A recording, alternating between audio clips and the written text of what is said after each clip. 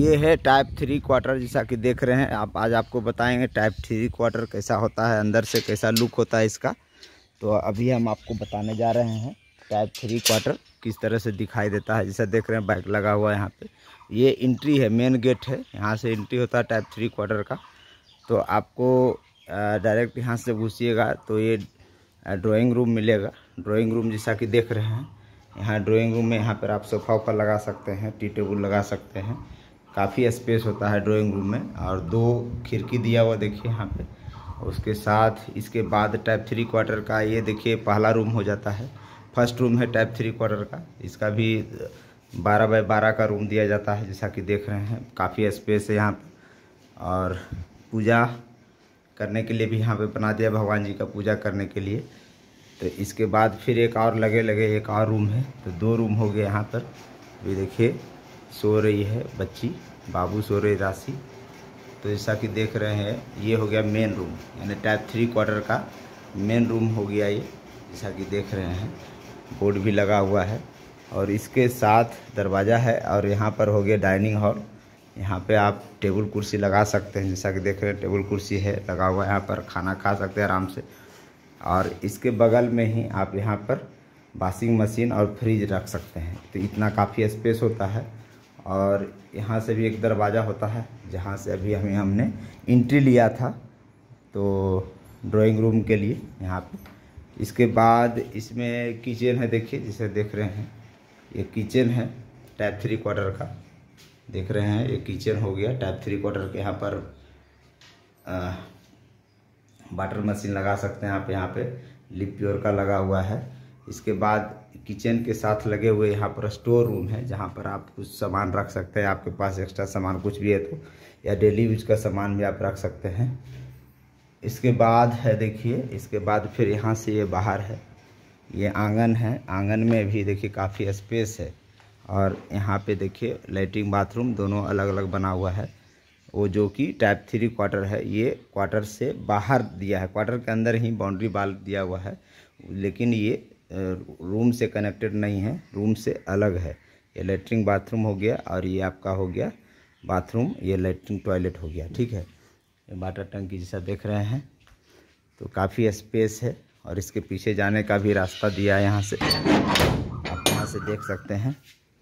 पीछे भी ये कंक्रीटिंग किया हुआ है। यहाँ भी पेड़ पौधा काफ़ी है।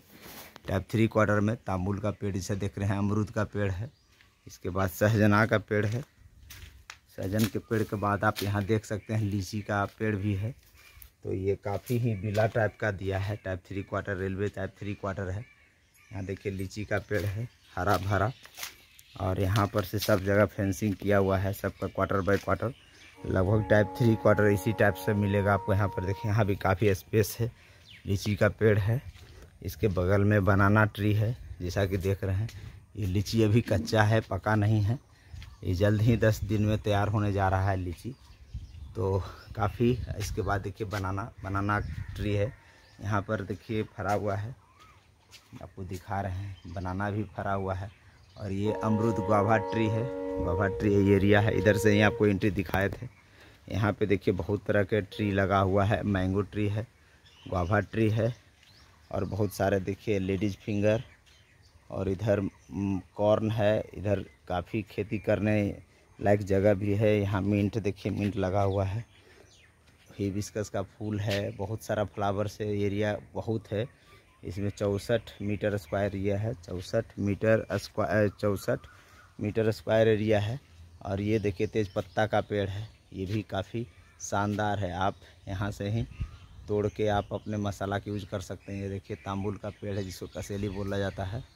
और इसके बगल में देखिए यहाँ पर सट, सटे में। आप देख, नीम का पेड़ है और यहाँ हो गया कोकोनट ट्री। कोकोनट ट्री भी है यहाँ पे। दो गो कोकोनट ट्री जैसा देख रहे हैं। गुआभा ट्री है। उधर आपको दिखाया था लीची का है। तो काफ़ी बढ़िया नज़ारा है। काफ़ी बढ़िया बागान भी लगा हुआ है टाइप थ्री क्वार्टर रेलवे का। तो टाइप थ्री क्वार्टर रेलवे में रहने का मज़ा ही कुछ और है।